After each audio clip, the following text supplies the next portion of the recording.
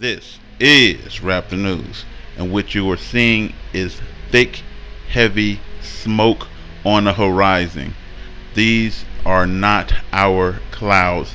This is heavy, thick, red and black smoke coming from the whole planetary system of planet Hell. Red iron oxide thick on the horizon. And now we're going to get into the planet that I saw on the horizon this morning. Check it out. Now I'm filming with my old camera and uh, I'm seeing the planet right there. It's red.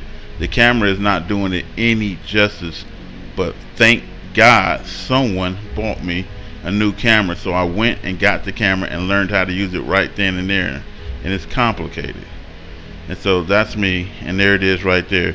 Now you see the sun is rising, and this is just before the sun rises, but you see that it's lit already from the planetary system before the sun even rises.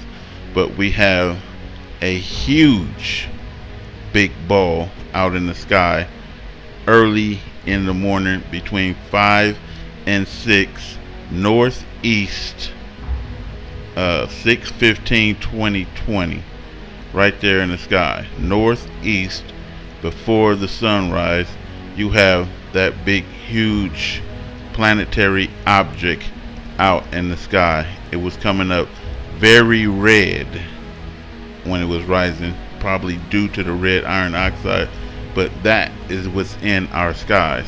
Letting you know that we only have a short time and excuse my shabby um, you know photography but um, just like I said I was zooming I was trying to learn how to use the functions on the camera at the same time trying not to miss what we seeing here.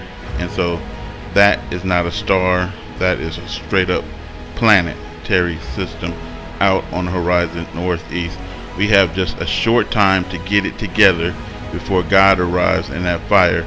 This is Rap the News.